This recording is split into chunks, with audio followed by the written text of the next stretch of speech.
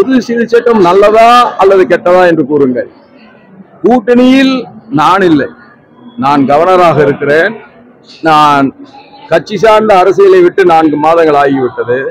ஆனாலும் உங்களுக்கு சொல்கிறேன் பொது சிவில் சட்டத்தை எதிர்ப்பவர்கள் பெண் அடிமைத்தனத்தை ஆதரிக்கிறவர்களாக கருதப்படுவார்கள் எதிர்காலத்தில். எது சமுதாயத்திற்கு நல்லதோ அதை ஒருமனதாக எல்லோரும் ஆதரிக்க வேண்டும். எது சமுதாயத்திற்கு எதிராக இருக்கிறதோ அதை எல்லோரும் ஒருமனதாக எதிர்க்க வேண்டும். அதுதான் சரியாக இருக்கும்.